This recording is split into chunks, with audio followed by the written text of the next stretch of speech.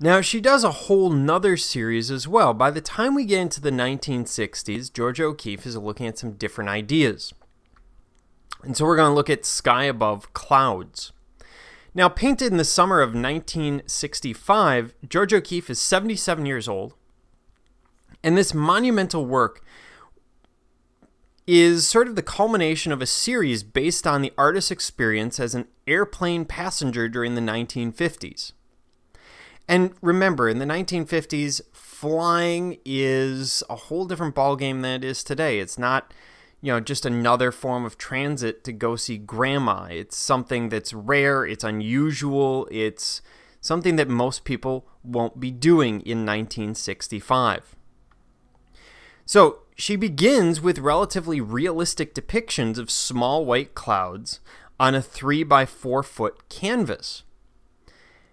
She progresses to more stylized images of the motif on larger surfaces, ultimately extending her idea across a canvas that spans the entire 24 foot width of her garage, which is what we see here. And this is at the Art Institute in Chicago if you want to see it live. And what she's trying to pick up on is that idea of being above the clouds. And there's a lot of possible interpretations here. She's 77. This could be her looking at her own mortality, uh, imagining her view when she enters into, you know, whatever form of afterlife she believes it could be her seeking another idea. So she does her flowers. She does a lot of Southwest scenes, uh, landscape scenes, and motif scenes from the desert Southwest.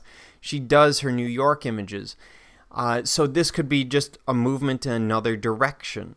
This could be her interest in abstraction. She's always doing these series, or she's known for a lot of these series where she moves from pieces like this that are more realistic into more abstraction. And that attracts a lot of people to her work because you can see that happening.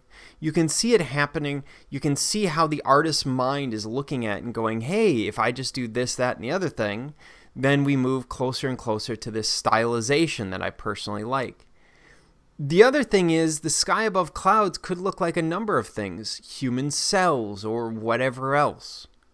Uh, it could give you a sense of isolation because if you existed in one of those cells, who knows? You the blue walls will stop you, or it could be the ultimate freedom because you're out in the clouds. Either way, it's a particularly interesting piece by O'Keeffe.